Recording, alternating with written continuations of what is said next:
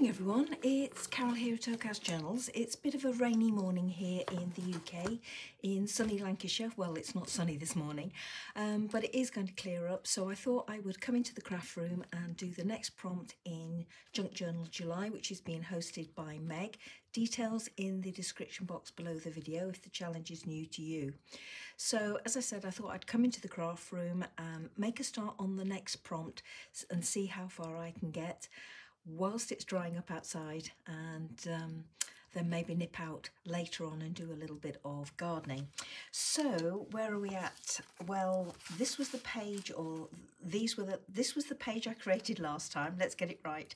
This was the page I created last time, but it was two prompts. It was prompt number eight, which was brown paper and prompt number nine, which was balance. So over the page here, um, I've got this section here for stripped back. Now, to me, stripped back means the bare essentials. So what I thought I would create on this page um, is just a little interactive piece. Now I know one of the prompts later on is to do something interactive, but um, this to me is a junk journal and it's not all about collaging and I do like interactive bits and bobs in my journals. So I'm going to make use of this. I'm going to do very little to it at all other than make a little interactive piece.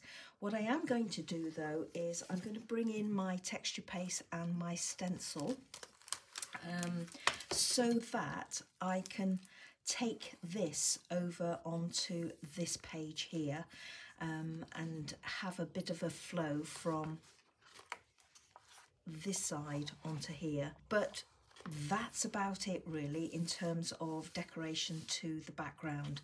It's got a very fine pink line going through it here, so I'm going to make use of that. I also thought I would use some little washi stickers. Now, these were the ones that you saw me use on the previous page. Um, and again, de product details are in the description box. So my first job is to get some texture paste on the page. So let's get on and get that done. I'm using Stampers Anonymous Tim Holtz Collection Mini Layered um, stencils. And this is set number 25 which is one of my particular favourites. And I'm going to use um, let me show you uh, this one that little one there which is the one that I used on the previous page. So as I say trying to keep the continuity going from one page to another now I've got texture paste at the bottom here so I'm going to have it up here um, I need to bear in mind what I want to put here. So what have I got? I've got a scrap of paper on my desk.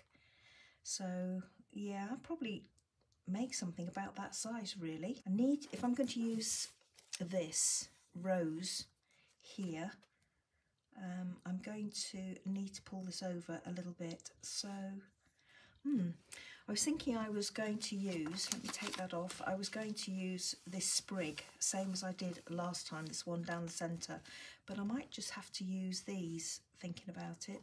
So yeah, I'm going to have to do that. So I'm going to go with that one there. Okay, finally made a decision. So let's do that. That's a shame because I really wanted to use the entirety of that sprig up there, but it doesn't matter.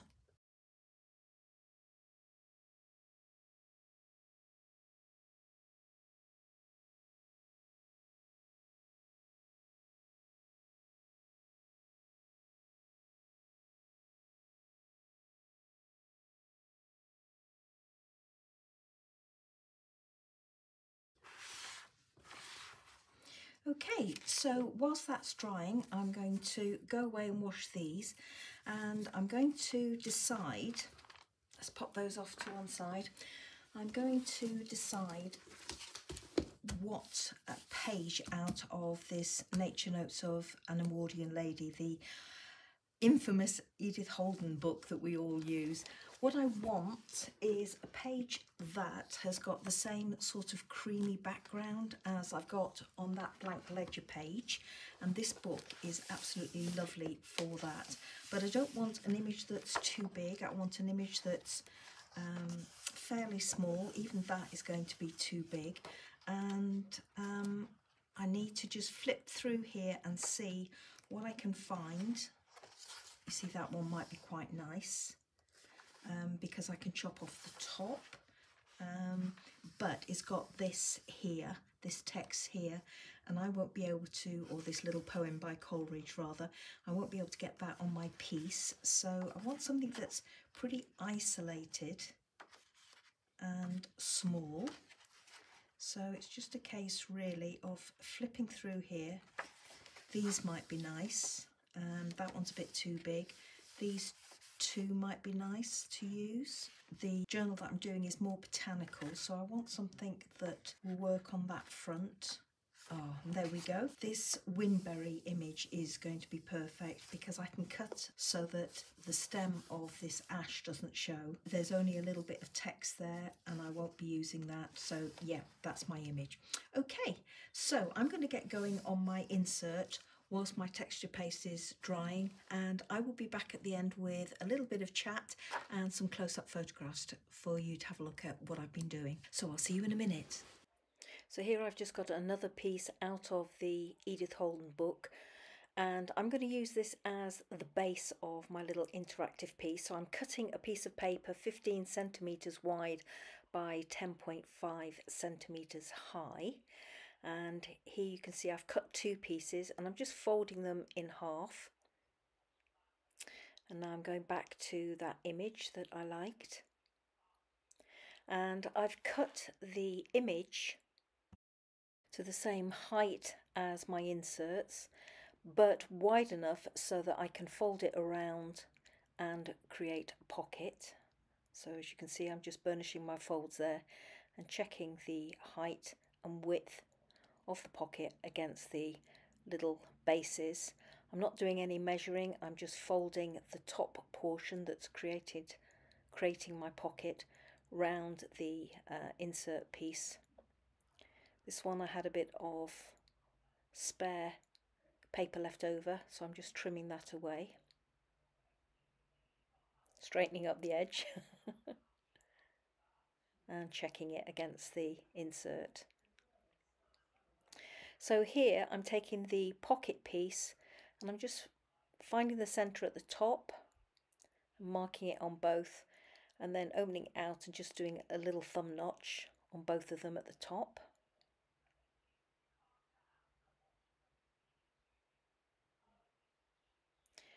And then just trimming away a little bit of the excess off the back and then closing the pocket up This is the insert piece and you saw I folded it in half there and just put a thumb notch on either side and then I'm gluing my little pocket on the top so doing the same with the second one.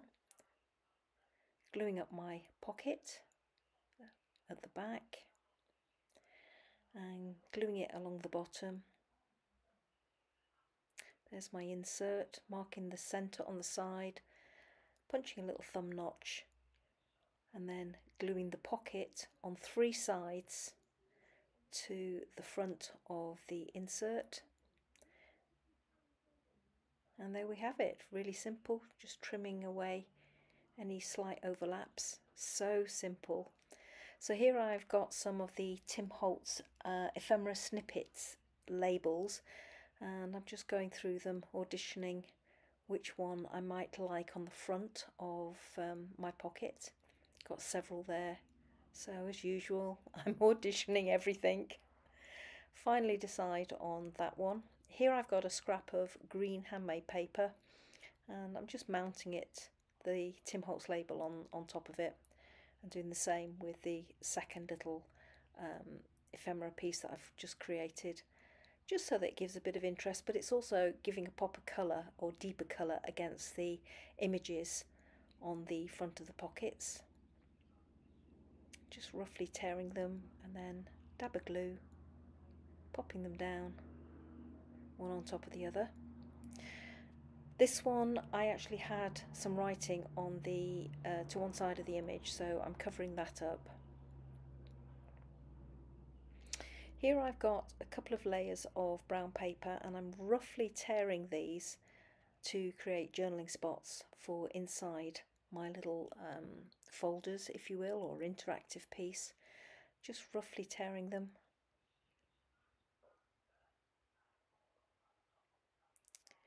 And using one as a guide for the other so that I can get them more or less the same size. I'm not too bothered. There we go. And here I'm showing you that I've stitched round with a couple of lines of machine stitching. And I'm just flattening out the stitches on the reverse adding a dab of glue to both pieces and then gluing them inside. And this is the second one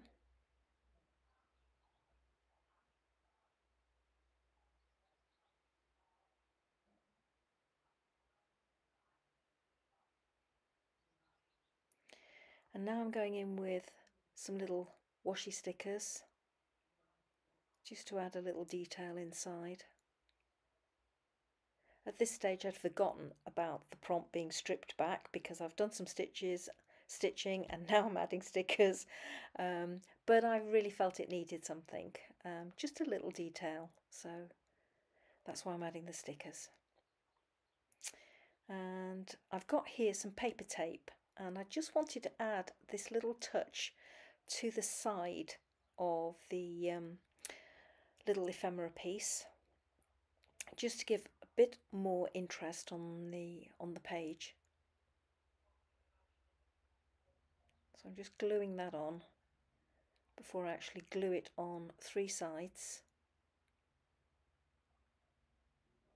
and popping it on my page but I'd forgotten that I wanted to add another little pop of colour by adding another washi sticker. So I've lifted up that corner and I'm just putting the washi sticker in place very quickly before that glue can set. And I'm just adding a little bit more glue as a belt and braces. And there we have it so here we go everybody, this is my finished page and as you can see really really simple and it's just a little flip with some pockets so I've got room for a little journaling card to go in there. I can journal here and here. I can also put a journaling card in this side there and there is place for another one at the top there. Really simple idea um, but as this prompt was stripped back that's exactly what I wanted to do just go for something very minimalistic and simple. I've just done some brown paper inside here to tie it in with this page and also with this page to a certain extent and stitched all the way around the outside for a little bit of interest. I couldn't help myself actually. Um, and then use some washi stickers here and here. I put another one in the back there. As you saw I glued down my sides and then realised I hadn't done that. So luckily this portion here hadn't glued by that stage or glued permanently down. So I was able to just raise it a little bit to get my washi sticker in there. And I just wanted to get a hint of green to add a little um, hint of colour when this is closed. I've left my threads loose, but I think when I close it up, it's a little bit too fussy having all the threads loose. And as you can see I've not stitched um, sorry glued right to my edges so that I can get a little bit of uh, movement there. But I'm happy with just these threads hanging down just a few. And you saw me use a piece of paper tape as decoration down this right hand side. And I wanted to do that just to kind of bring the eye from these points down to the um, the center and um, here I've just used one of the Tim Holtz uh, ephemera pack snippet labels. Love those. So I've used one of those and a little piece of handmade paper there. So now I need to go away and make some little journaling cards to go in um, here. And this is the other one that you saw me make. Um, this was the top portion of this piece of paper in the Eden Edith Holden book, but it was on the reverse. And I've just done another one exactly the same, and that one can be glued in a book like that. So even the design of these particular little flip things is super easy. If you wanted to, before you glue this top portion on, you could stitch round to add some detail on the outside, but I've just left mine super, super simple. So there we go, everybody. That's my um, finish page for this prompt, which was stripped back. Hope you enjoyed seeing it, and I hope you'll join me for the next video to do the next prompt, which is prompt number 11, which is uh, paper samples, if I believe, if I remember rightly. So until then, everybody, um, have a great time, happy crafting, keep smiling, and I'll see you again soon. Bye-bye now.